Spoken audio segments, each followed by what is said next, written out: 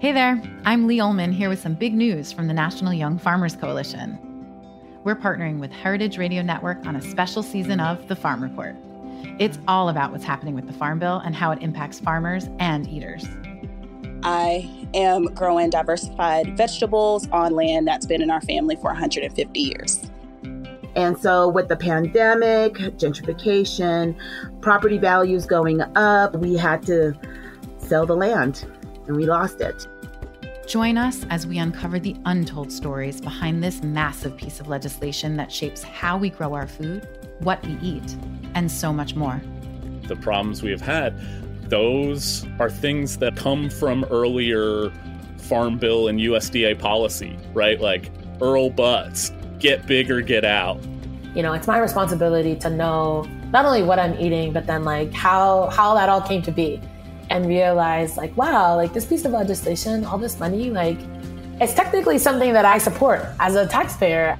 While congress debates the next farm bill this is not just an invitation to listen. It's a call to action. Be part of the conversation. Subscribe to the farm report on heritage radio network wherever you listen to podcasts. This episode is brought to you by mofad the museum of food and drink inspiring public curiosity about food Learn more at mofad.org. I'm HRN's Communications Director Kat Johnson with a preview of this week's episode of Meat and Three, our weekly food news roundup. This week, we're celebrating Valentine's Day. Whether it's your favorite day of the season or you avoid it like the plague, there's no debating it's a big day for the world of food and hospitality. Valentine's Day is what we uh, refer to in the industry as a blackout day.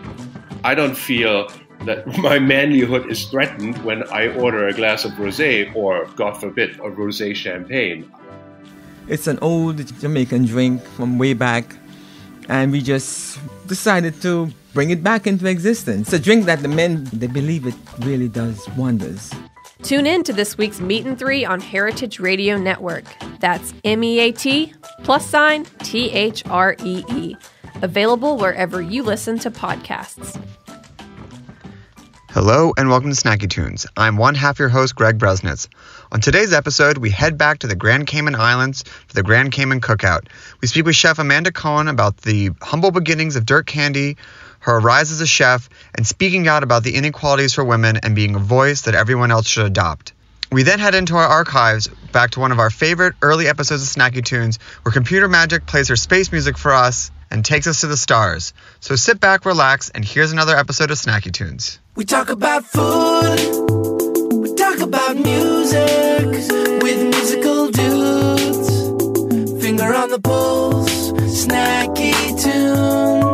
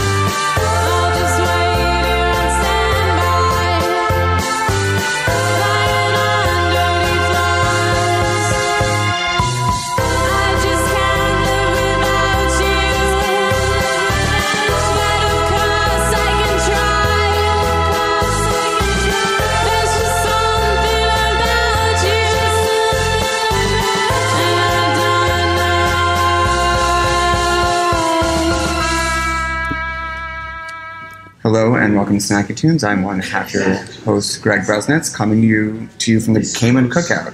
What are we doing here? Chef Amanda Cohen, what, how did we get? How did two New Yorkers get to escape? I don't know. My friend just texted me. They're like, um, two things. Um, I hope your trip is great, and fuck you, my pipes just burst. and I said, I'm so sorry. I'll try to keep the posting to a minimum. That's sort of how I feel. Like I don't want to tell anybody I'm here. I know. You know, I'm like, oh, I'm working really hard, but clearly I'm not working very hard. I have no idea why we're here, but it's pretty nice. Is this your first time? It, it is um, to the point when they invited us, which was very nice. Uh, I had to call Darren and be like, "I think someone's fucking with us." I, I think someone who's like, "I don't, I don't know." You do something 11 years, I guess. I guess they say They it. just finally get Yes. around to you. yes, which they, they started 11 years ago. I was like, I guess these paths, you know, we'll eventually end up on the same road. Anyway, thank you for sitting down with us. Um, very quickly for for the few people who don't know, Dirt Candy. What is it? Where is it? And how does a girl from Toronto open up a vegetarian forward but not vegetarian restaurant Right. in New York City? Uh, Dirt Candy is an all vegetable restaurant. We've been open for 10 years, uh, 10 years this October. And, uh, you know, my, my dream my entire life was to live in New York. So after I came to New York City for university, and uh, I traveled around a bit afterwards, but really my goal was to get back to New York. And the only thing I really liked to do was cook. And I was like, yeah, I don't know if this is going to be my career, but uh, I think I need a skill because I need to pay rent. And uh, truthfully, actually, the, the idea was to get the skill so I could travel more. And I got the skill, and I kept falling in love more and more with New York. And I, I mean, I traveled some personally, but not professionally. And For, for those who say New York is dead for artists, why is it not dead for artists or chefs? Well, I don't think it was. I'm not sure now it's not. I think it's a really hard city now for artists. I- It's just so expensive. I don't know how kids do it. I mean, I moved to New York City in 1992. Yeah. And uh, It's called Ridgewood. it's called Ridgewood. It's called Fair Ridgewood. That's how they do it. I know, when I'm such a snot. I'm always like, you know, I didn't move to New York to like not live in Manhattan. I know.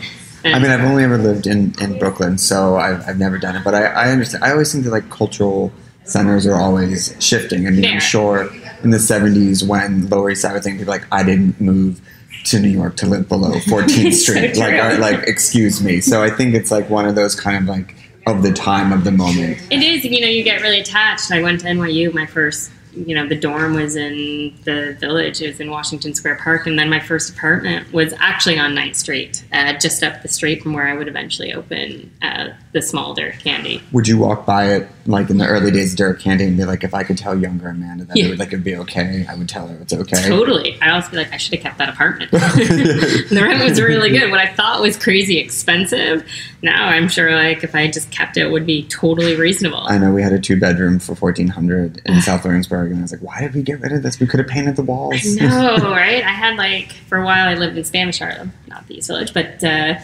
and I had a three bedroom, and our starting rent was twelve hundred. It was so good. And you know, there's people who are from my aunt is in like a rent controlled building in the '80s. That's like four hundred and fifty dollars. She's like, "You guys are crazy," even back then. Um, one of the things that's I've noticed as a through line for your restaurant and your evolution is the, the idea of a creative constraint. First, you had a very small restaurant, Right. then you had a very big restaurant, and then you went and went to a kind of prefix menu. Um, talk about how constraint, um, and some would argue, and I would maybe say that just cooking with vegetables is also a certain con- constraint. How have you used that self-imposed restrictions to further your creativity and your evolution and, and the food that you serve? I mean, it's hard, and this is a really hard question because you're asking about creativity, and so I don't know quite how it all works. And I have a, I can sort of go into more depth about it, but Please. well, Please it, it's hard to uh, asking about creativity is one of those things, and people are always like, "How do you do it? How do you make creative dishes?" And you know, how do you look at a broccoli and end up with a broccoli hot dog? Um, and to me, really, the only way I know how to do it is if you start in a box because I have to be fighting against something Mhm. to get an idea Mhm. outside of the box. And everybody works really differently. And then you start with the idea, and you know the idea changes, and, and you forget about the idea. And then like two months later, you're like, yeah, course I'm going to put broccoli in a bun and call it a broccoli hot dog. And it seems so Duh. stupid. Duh.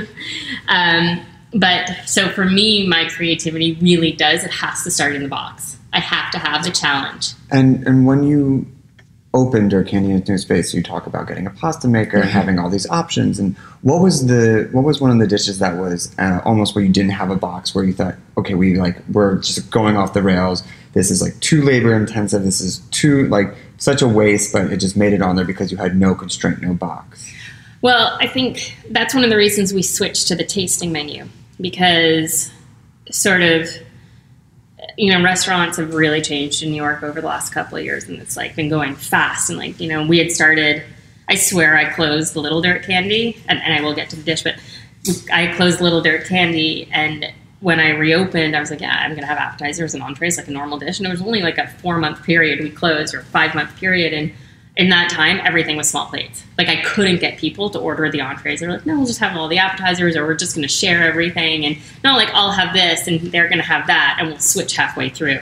It was everything was put it all in the middle, and I was like, okay, well, this isn't really going to work with my menu and the composed plates. And so then we went to small plates, and then I realized I can't, I can't do the menu I want to do with small plates because it's too fussy and like it's two bites and people are really angry that I'm asking them to pay, you know, fifteen dollars tip included. Uh, We'll for, get to that. for two bites. Um, but really, that's the labor. The idea and the labor going into it is really worth this much. And I then sort of had this breakdown. I was like, you know, I, I really want people to be here for the show and, and enjoy not just the food, but everything we're able to do. And so when we switched to tasting menu, that, even though it seems really to me, I think people think of it more as a box because you can't do everything you want to do. And sometimes I'm like, oh, I just really want to do lots of little plates of vegetables. um, but it gives me this formula of where I could put dishes on the menu. And we have this dish that's the Peking peas, and uh, it's our play on Peking duck. And I have a grill, tiny little uh, grill, and uh, we grill, or the, the actual people at the table, we don't do it. Uh, they grill. Uh, each person gets two sugar snap peas and they grill the peas themselves. And we have tiny little uh, pancakes and plum sauce and tiny little cut vegetables to put in it. And this sort of like tofu or soy skin yuba that's deep fried and lacquered to look like Peking duck skin. And it's ridiculous. And, you, and it's actually two bites. And people taste it and are like, this is amazing. And I'm like, yeah. And I couldn't have done that on, Right. on a regular menu because it's two bites and it's ridiculous. Right, and you can just sort of like prep and hope you serve Right. ten of them. Like you have to know you're going to serve all of them. You have to serve all of them, and I wouldn't even know what to charge because the truth is, it's a really expensive dish. There's we waste a lot of charcoal in that dish every night when it goes out, and that's actually probably the most expensive part of the dish. And then the labor is really expensive. But the main part, it's not like it's this like Yeah. amazing like piece of like lobster or like this gorgeous like langoustine or caviar or whatever it is. It's a pea. And no It's one's and no one's going to really understand, and and nor would you even expect them to understand it because some people are not going there to get a lesson in like economics of a restaurant. exactly. They're just like, I want to taste something delicious. Let's go back to the, the boxes for the self-imposed boxes for uh, a minute. Um, not just for you, but for advice for other chefs, because everyone's going to have a different scenario or Right. things like that. How do you build these boxes? I think what advice would you give to people? Because obviously, it's like I, I understand that, but the, a better thing. How do you? What advice do you give to build these boxes?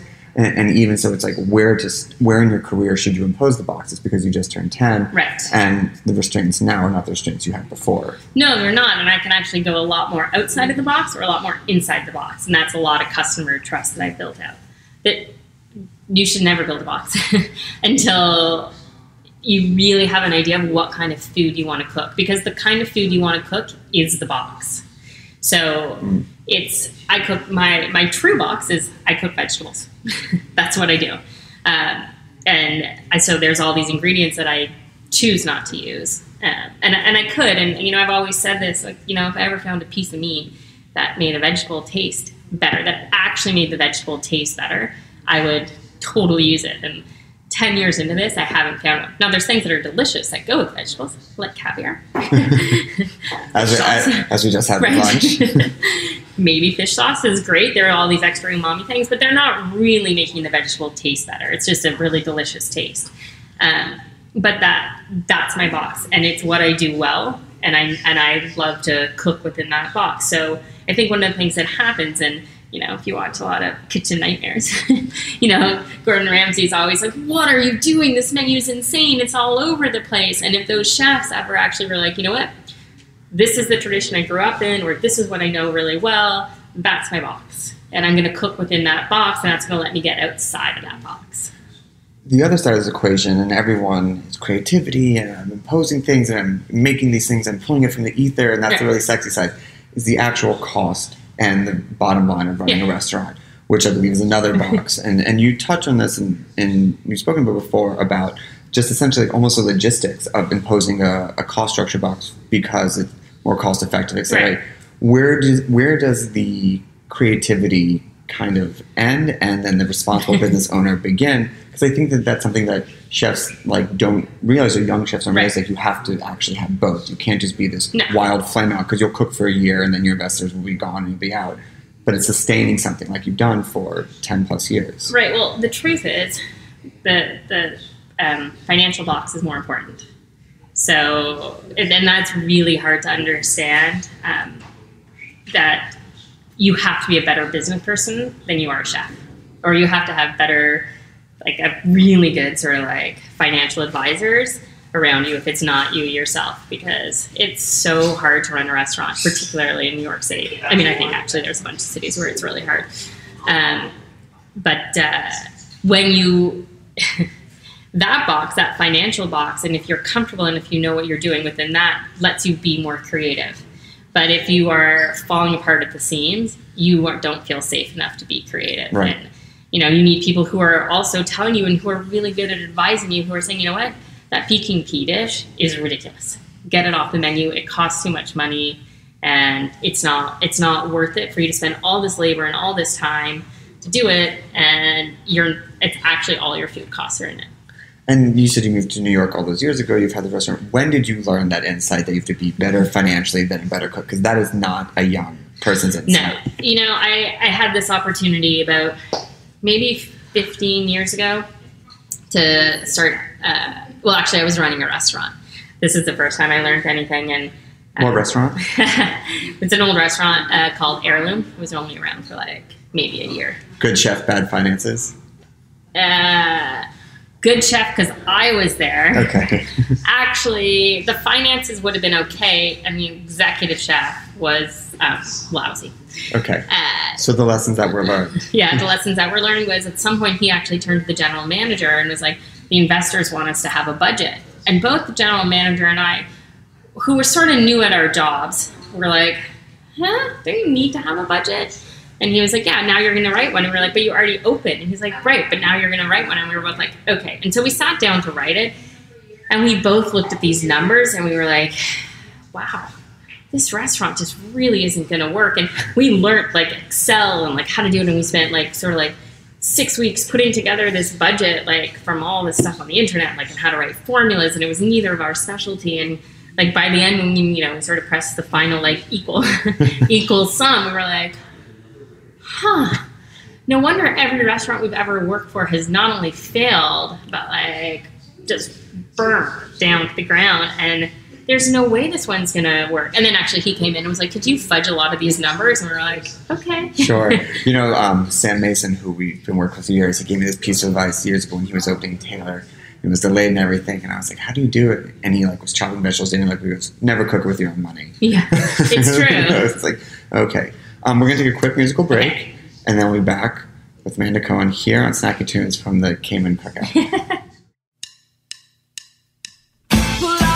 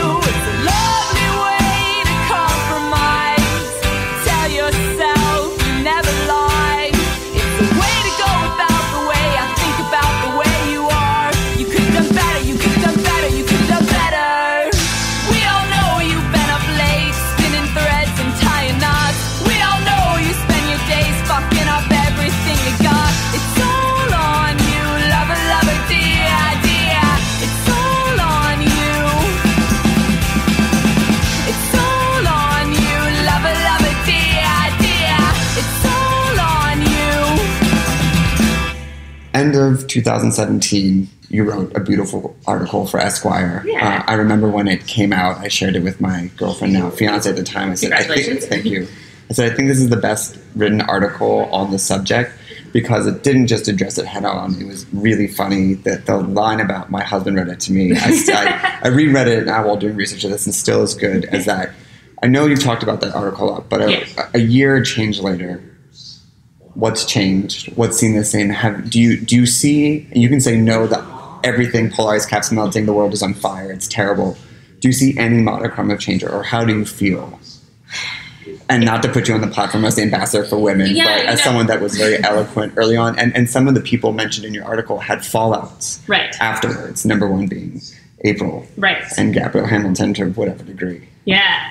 So it's a tough one because a, um, I mean, I don't. I actually don't mind being the spokesperson. I wish there was other people who were also the spokesperson, uh, and there's a couple, but I wish more people were stepping up to talk about it. Um, and I don't. I don't want to take away sort of the progress we've made, uh, but the truth is, we're not nearly uh, as far ahead as I think we think we are. Doesn't mean that I think we people. I don't think that I do think we've made progress, but I think everybody thought we were just going to sort of like change the industry and it was going to happen. And truthfully, having written about this now for the past ten years, and I, and I did start when I had the blog at Little Dirt Candy. I was Right. talking about all of this And you did the Eater piece a number of years Right. ago too. um, you know, change takes a really, really long time. And the thing that's hard about change is it's really hard. Sustained change. Yeah, Not just like, you know, lipstick or aesthetic Right. change, like skin deep, like systemic changes. And you have to keep talking about it and you have to keep working at it. And it's painful and it's boring. And you feel like you're just repeating yourself over and over and over again. But the goal is, and, and we will get there one day, that there will be change. We're just not really seeing it yet in the ways that um, I think people think we have. And I think a lot of people are like, oh, it's good. You know, James Beard, a lot of women won awards this year. It great. And it's like, yeah, it's totally great. Absolutely. Jordana Rothman's food and wine list also focused a lot on a lot of women, and that was like very notable in the shift in how it has been in the in the past. Totally. But what happens next year? And what happens the year after that? And what how do- happens when those people leave? Exactly. And, and how do we keep this up? And how do we make sure that the next generation keeps it up? And it's just, it's hard. Now, I do think that, um, you know, we're still talking about it. And that's, that does mean something. And, you know, it didn't, and every interview I used to do, I wasn't always asked about it. And this now, like these days, I'm always asked about it. And people are so apologetic that I'm like, don't apologize. This is a real issue. Well, to be like to break the fourth wall, I, I did. Um, I was like, should I bring this up? And not not because that it's not important not to be talked about, because I'd love we could do a million hours on this. It's more like, am I going to sit down with a male chef Right. and be like, tell me about your thoughts on women? Probably not. And and and that's on on Right. me, and that's my position. But it's like, is it ad nauseum or is it something new, or are you seeing are you seeing things? So it, it is a conflict is that like that because that is called out in almost every article. It's like the different questions that female chefs get versus male chefs get. The mantles that they have to carry on top of being an excellent chef and an even better financier on top of being a spokesperson for. But see, I think you should ask the male chefs that because the truth is, is that it's not. But basically, what we're asking people is like, are you going to be a good human or a bad human? Yeah. Like that's it. Like that's and that's the truth. Opening, Like, opening question. If Yeah. they say bad, interview over Right. and we'll go kick to the beach. So, you know, this isn't just about women, this is about people of color. These are all those articles that came out about um, sexual harassment in the kitchen or, you know, people who are bullied or mental health. It, it really, it sort of just keeps like building on itself. Like, how, what are you doing to make this industry better? And that's actually the question that everybody should be asked. right. And that's a better framing, a better framing Right. of it. So what are you doing Mhm. to make the industry better? And it doesn't have to be, you know, people are always like, well, I don't know. Yeah. and then they shut down. It's like, all you have to say is, you know, I'm working really hard in my kitchen. And, you know, I'm making sure that these are the, the new rules we have. And I have an HR department. And we sit down and once a year we talk about these policies with my staff. Whatever it is that you're doing that's different than last year. And I also think it's it's simple things too. It's a 50-50 like on the floor or in the positions where it's like you're not just maybe you might suffer as an owner. And I think this is maybe with a chef owner versus just an executive chef. If you're a chef owner, you're like, well, I'm going to hire 50-50 and let's say that it's a person of color or a woman who might not have been given the opportunity to be as good. We're going to be a little bit slower, but we're going to bring them up Right. to, to give them that opportunity, Right. as opposed to like I'm only replacing skill for exact skill, and usually it's men because they have had more opportunities. So it's like that type of cognizant where like you have to. I don't want to say suffer, but be set back a little bit, or you have to be able to work harder to in order that other people get the Right. opportunity. But the reward is so much greater, Yes. and that's what people don't get. And Right. you know, I, I talk a lot about this woman in my kitchen who I had when we first sort of reopened Dirt Candy, and she really wanted to be a line cook. And we were like, "You don't want to do this." She was like, "I really want to do it," and we were like, "Okay." And man, she was bad, but we loved her. She was, had been part of the family and had worked for us for years. And we were like, "You are so bad," and we worked, and we worked so hard, so hard with her. And finally, by the end, she was okay. she was never going to be our best line cook, but she was not going to be our worst, by far not our worst. And it took a lot of time and a lot of our energy. But, you know, one day she turned to us and she was like, Yeah, I hate being a line cook. I don't want to even, know. she was like, I'm actually done with this industry. And we were like, It's fine. And, and she left and she moved on to something else. And, but it seemed so horrible to us at the beginning.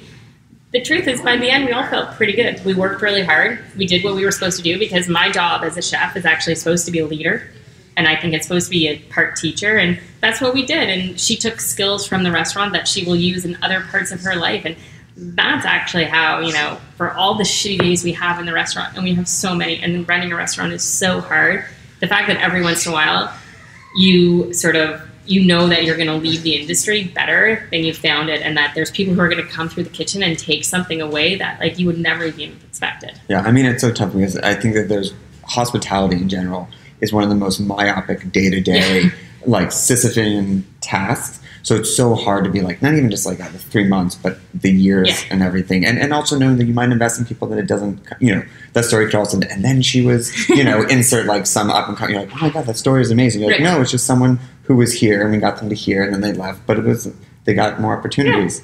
I mean, one of the other systemic changes, though, is uh, this week they announced that um, 11 Madison Park will no longer be I allowed know. to be I'm so impressed. So you you do see you do see that it's like oh it's like well them getting taken out of the running, no one needs to give them any other awards. They can get all of them. It does begin to open it up, and sure, it might be replaced with another white Right. male chef duo, but it, it does allow even the the women who are low on the list to begin to move up, and Right. and then it, it it's in that that is an interesting change. Yeah, I think it's actually really fascinating. It's like, okay, great, you did it, you did it, it's fine, you know. Yeah, Uh, it doesn't detract from it.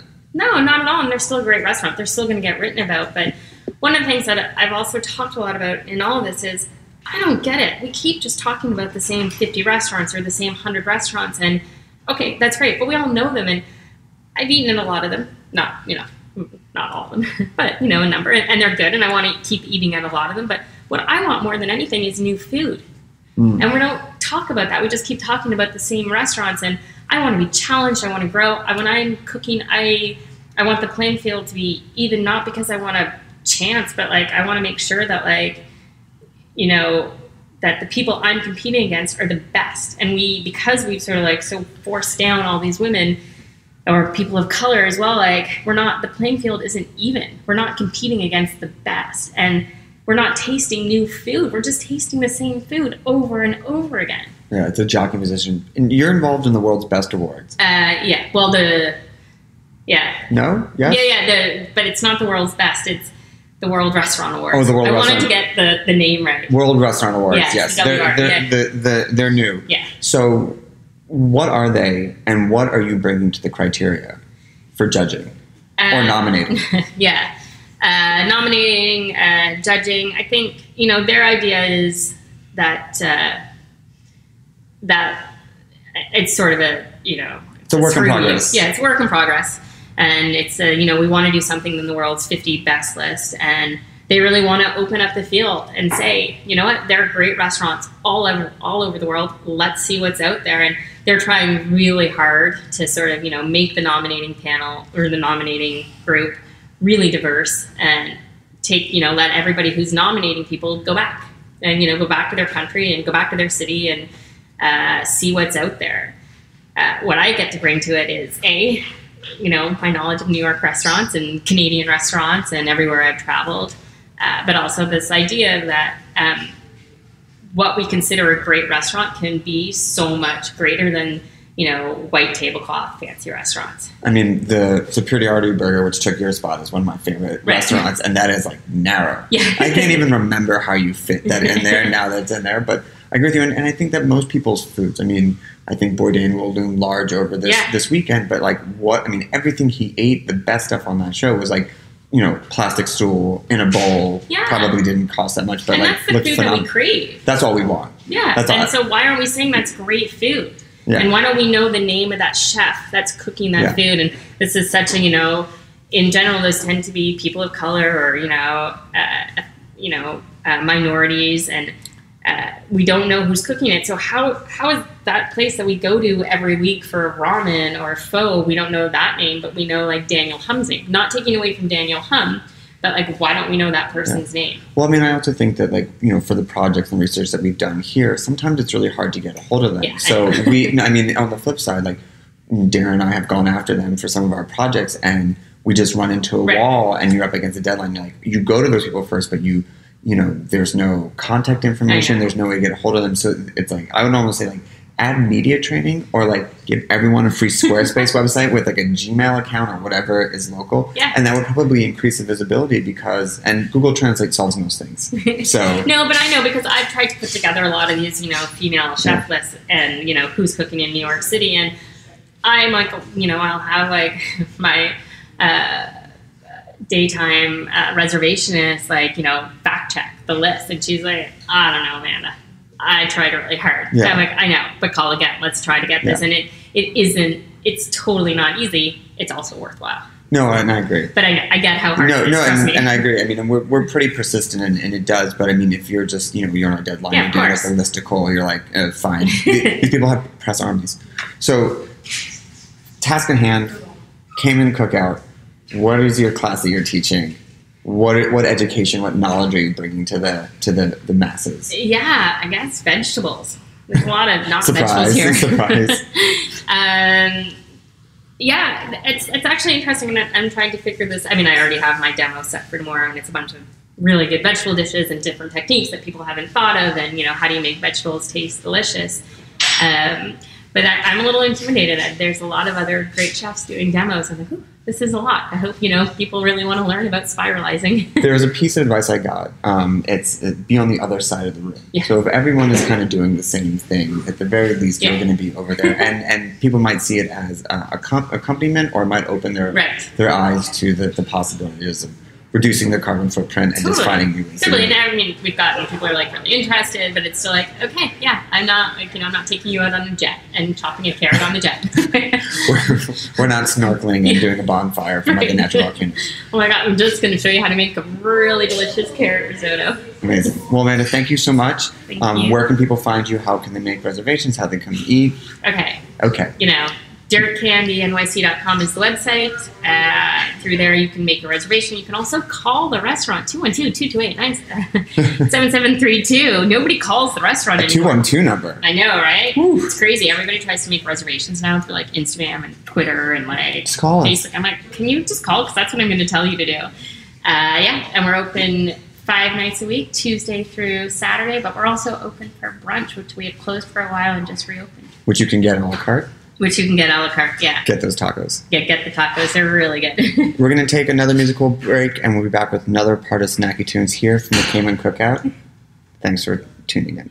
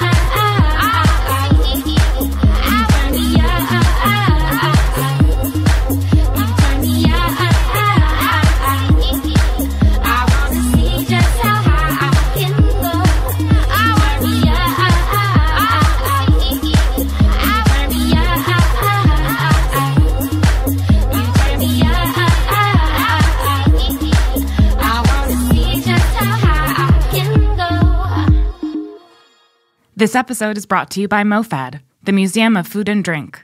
Featuring a variety of interactive displays, MoFad encourages eaters of all ages to be curious about food. The museum currently operates MoFad Lab, a 5,000 square foot experimental space in Williamsburg, Brooklyn, where Chow, making the Chinese American restaurant, is currently on show until the end of March 2019. This exhibition celebrates the birth and evolution of Chinese American restaurants, tracing their nearly 170 year history and sparking conversations about food culture, immigration, and what it means to be American. It highlights the evolution timeline of Chinese American restaurant menus, dating back to 1910, and also highlights a tasting section where participants get to enjoy tastings created by the country's most talented chefs who specialize in Chinese American cuisine. Make sure you check out Chow while you still can. The exhibition closes at the end of March 2019. Check out MoFad's tastings and extensive event calendar at mofad.org/events. Are you enjoying this podcast? Heritage Radio Network has plenty more. My name is Dana Cowin, and I'm the host of Speaking Broadly here on HRN. Every week, I conduct intimate interviews with the brilliant, powerful women in the food world. We discuss their lives, their careers, and the ways in which they navigate the world at large. You can find Speaking Broadly wherever you listen to podcasts and on heritageradionetwork.org.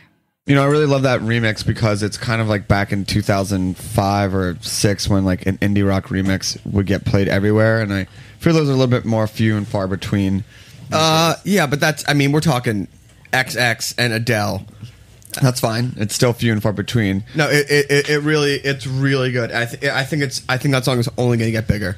Uh, so in studio today, as teased before, we have Danzy from Computer Magic. Hey, Welcome Danzy. back to Snacky Tunes. Hello. If you remember, we had Danzy on with uh, Max and the Space Base crew, and uh, that has now kind of been put on the back burner. Max is in a band, and uh, Danzy left, went to Florida, Yeah. started writing computer magic songs, and You is went now to F- you were in Florida? I went to Florida for like six months or something. yes, Yeah, yeah. Um, I mean, we- I, I, uh, let me, I missed you.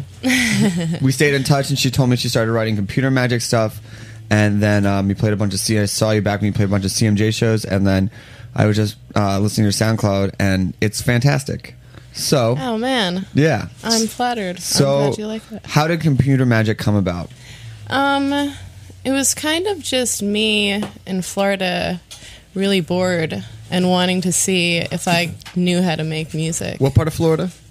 Tampa. Yeah, yeah, fine, And yeah, I mean, and I didn't really have a car or any means of transportation, so I kind of just stayed home a lot and just literally made music every day.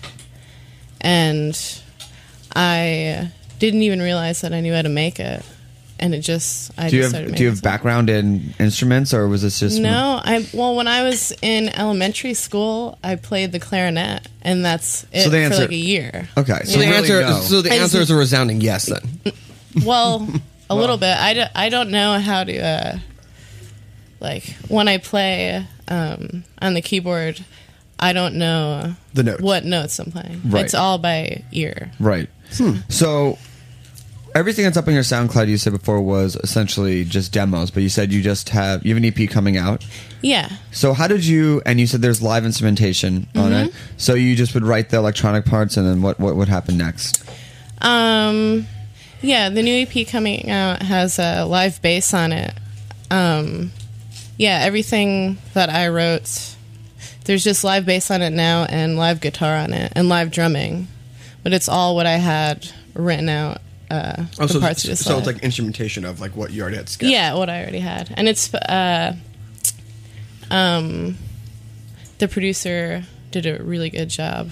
And Uh, so you sent it. I'm, I'm curious about this because uh, there's just so many different ways to make music, and I always love hearing about the different. Like everyone, you know, it's great. I like that you're just like I wanted to do it. I wanted to see if I could do it, so I did. I it. just yeah, I had no I wasn't doing it with the intent Right. for people to like. I didn't even know that people would like it. which is I just what, tried it. which I always find is like the best approach whenever people you know like oh how do you do these things it's like well you just kind of you kind of start doing it Yeah. and then you figure it out you don't like wait until everything is perfectly in place because you'll never get started. No, you'll never get started. And also, just it's gotta. I mean, what we are talking about earlier in the show, you just gotta trust your instincts.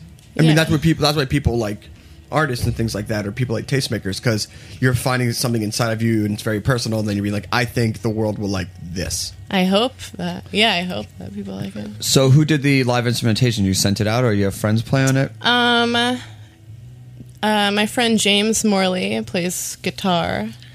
Um, my friend Justin Coles plays bass.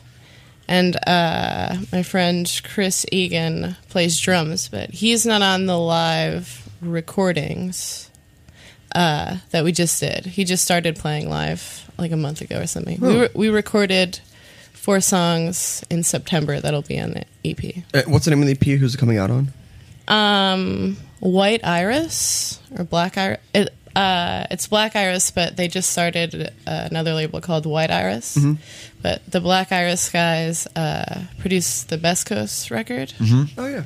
Um, Our favorite ba- Fool- our Fool's friends. Gold and like the band, the band Fool's Gold. They were on the sh- they were on the show before. Love those Oh, really? guys. Yeah, they're really, really awesome. Lewis, Oh, he was the one who was on the show. he produced the Computer Magic. What a small world! Oh. what a small radio Yeah. shipping container. Anyway, Um, so can we talk to you quickly about your influences? So the, the about you definitely has that like '50s. I mean, that's a classic song structure of like a Mhm. very slow to like this like powerful orchestrated thing. It- you know, it Yeah. popped up in disco and things like that, and now you're applying it to your music. Um, What made you? What drew you to that structure? And then also, what other influences can we expect to hear from your music? Well, with a lot of my songs, sometimes when I start to make them, I just want to see if I can make a certain kind of song. And I started reading up, um, you know, Phil Spector. Yeah, I mean, there's a lot of Phil Spec. I mean, yeah, He uh, uh, he created this thing called um, the Wall, of sound. and I wanted to just try to do that with my with the uh, instruments I had on my computer. So I just basically that's really interesting. So you tried to make an electronic because he Yeah. based it on like the sh- just the sheer number of So I- instruments in yeah. the room, and you're trying to do it I'm trying to recreate on well, a laptop. I have a. I use a lot of sounds from um, this plugin called the Mtron. Um, it's uh, samples from a Mellotron, so it's all uh, like flutes and violins, and I just put like a lot of reverb on it. Just tried to make it sound really big, even though it's not really real like live instruments. I mean, the thing about about you is that it swells. Yeah. At the end. I mean, it- which it- is great if that that's is definitely raw. You know, Ronette. I mean, that's definitely like that is Phil Spector right there. I mean, that's that when I was into it. That was good. So why don't we get you uh, doing your DJ set? Let's get you on the ones and the twos. Okay. Or can the peop- zeros what and can- the ones. What, what can people expect in this DJ set? Um, well, I'm gonna play a few computer magic songs, and um, I guess just some of my influences. They kind of range a lot. Okay, great. Uh, so you were listening to yeah. You can go- go, there. go over- go over there. Th- This is what we like to call the uh, talk over while we talk over. I thought it was the walkover. I don't know. We- I guess we don't really have an official name for it. So as uh, Danzy gets set up, uh, you're listening to Snacky Tunes. We're your host, Finger on the Pulse. And if you want to hear Danzy and Space Base guys, um, you can listen to our podcast, which you can find on iTunes. The gifts, Michelle, uh, Michelle, Michelle, I might lose my. I might. she keeps. lose She, my she mind. has this magical bag of cheese. What do we? What, do- hold on. What is this? It's a chocolate covered orange slice. All right. Okay. All right. Fine. Hey. Hey. Why not? Listen. Uh, there's this magical bag and cheese and meats and almonds keep coming out of it, and uh, we're about to get into the future with Danzy and Computer Magic. Danzy, you ready? Uh, yeah, I think so. Okay, here we go. We got uh, live computer magic set coming at you on Snacky Tunes, heritageradionetwork.com. Uh, shout out to everybody. Take it away.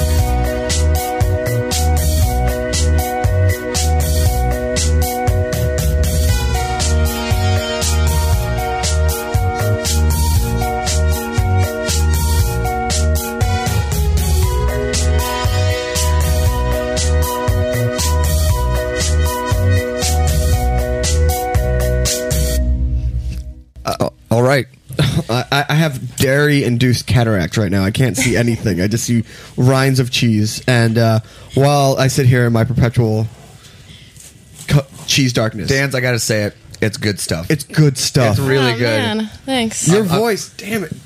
I, I, and I love how it's like I'm going to try, and then what's come out of you. I don't know if, if, if anyone, but Danzy, you are uh, a sort of a pixie-esque, sort of small little package, and there's a lot coming out of you, and it's fantastic. You know, and a lot of bands they do media training. They're like, you know, we just kind of got together in like the garage and like tried. And you're like, no, that's not true. That's not all happened. But you know, Tampa, Florida will breed. Uh, I, I now I can't. can say I ask? Can I, Tampa. what, what were you doing in Tampa?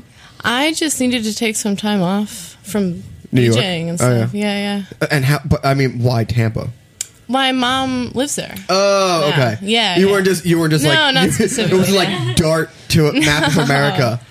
Yeah, I just stayed with my mom for like a little while. A lot of cooking. Any cooking? Yeah, it was really good actually. I was cooked for like every day. It What was did you- really awesome. what- what's what's mom's specialty?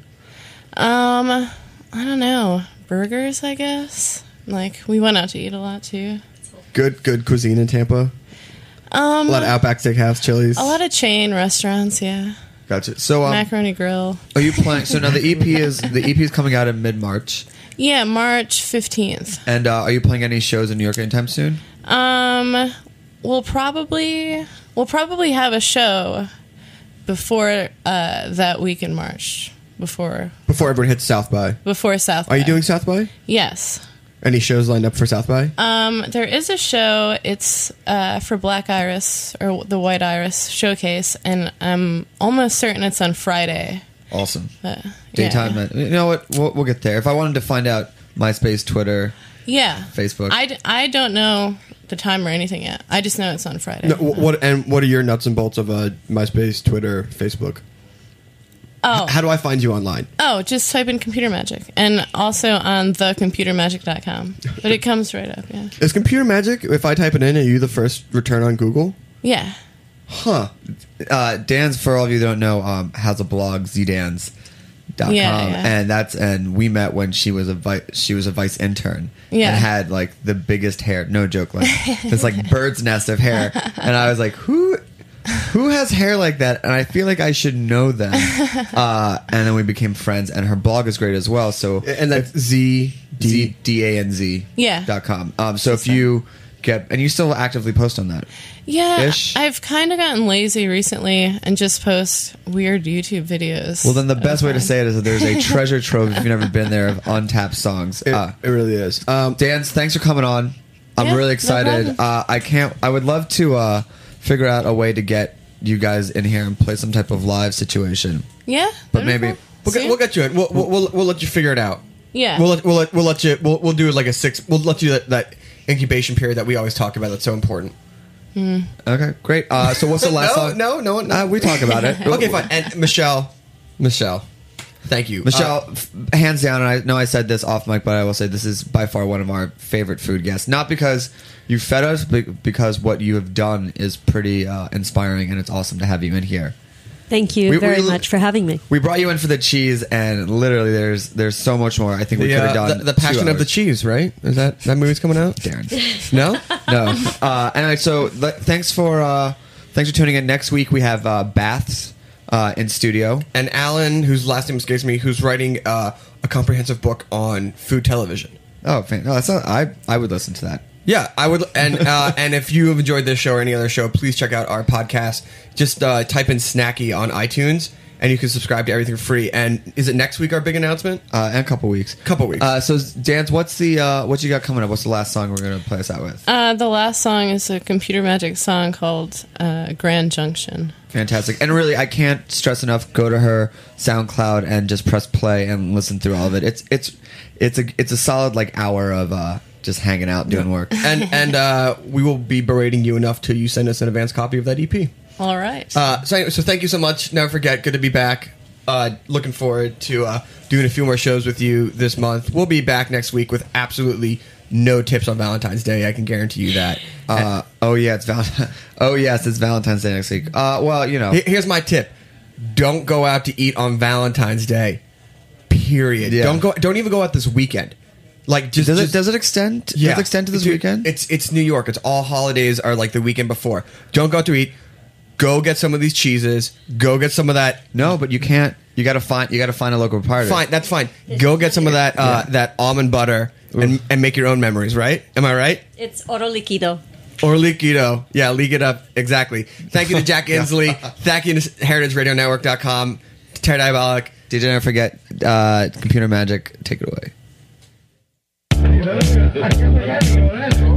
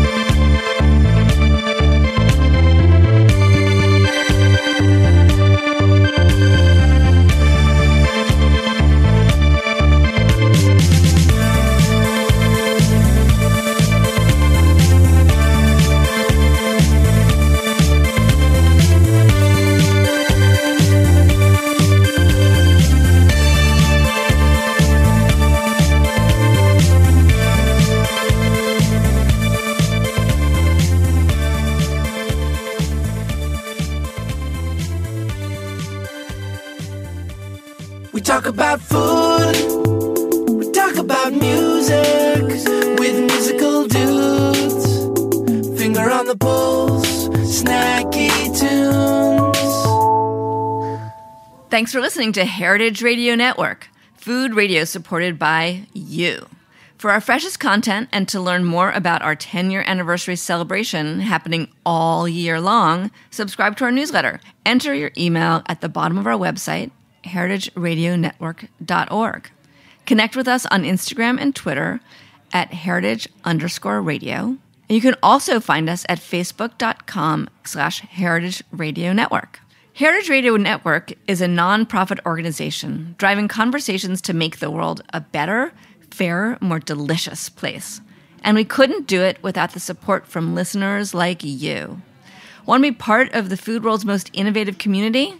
Subscribe to the shows you like, tell your friends, and please join the HRN family by becoming a member. Just click on the beating heart at the top right of our homepage. Thanks for listening.